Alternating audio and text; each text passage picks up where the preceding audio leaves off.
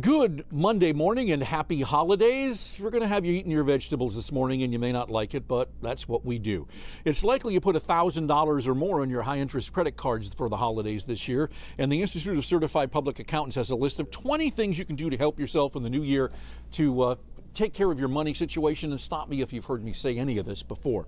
Make it a habit to watch your banking and credit card account for fraudulent activity on a daily or weekly basis. Take a hard look at recurring payments. Automatic withdrawals can get away from you if you're not paying attention, paying on things that you may not need to. Use reward programs to get free stuff, but much like store coupons, don't buy just to get points. Get the best deal. You get a check for that. Make your 2020 contributions early to things like IRAs, 529s, and 401ks. Making contributions earlier rather than later gives you better tax free compound growth over time. Speaking of compound growth, if you don't know a lot about personal finance, start learning and reading about it.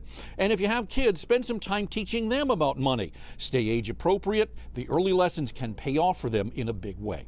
We have all of this listed, and you can do more reading on the Money Monday page at clickondetroit.com.